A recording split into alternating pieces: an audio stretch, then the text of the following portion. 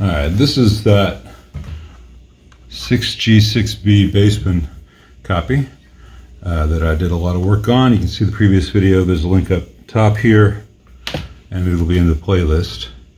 And the last two things I needed to do were to replace the input jacks with some long bushing switchcrafts so that I could use tooth washers and get that really tight because they just were not tight.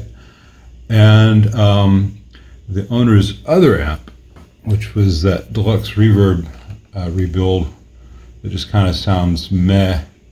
He had put a whole bunch of Mullard and Brimar and Telefunken tubes in.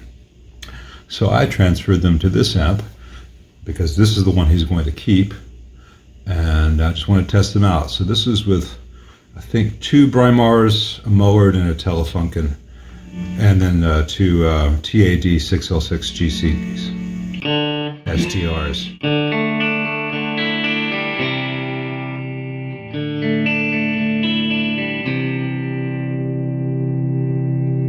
Mm-hmm.